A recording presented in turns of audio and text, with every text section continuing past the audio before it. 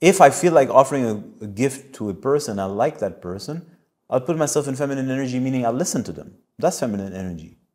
I'll receive them, I'm attentive to them, I'm very good at this. And every man, well, men who care about a woman generally at some point will listen to her. But that is feminine energy. She's dishing out and pouring out.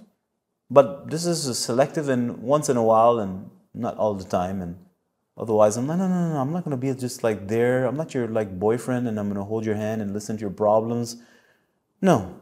And if I do listen to problems, 99, 97% of the time, if I'm listening, it's to, uh, I'm listening as a man to interfere and solve it so once in a while, I put myself in a position where he's just like totally receptive, it's very feminine energy. But I don't believe it's man's job to do that. Women should have women friends with who they can find feminine support and do their women like, you know, and just like express their excess energy and how they feel. Because be honestly, no men give a fuck about this, right? Men want to solve problems. So if you have a problem, want to solve your problem because he doesn't want he doesn't want an extra problem on his plate and he wants you to shut up technically.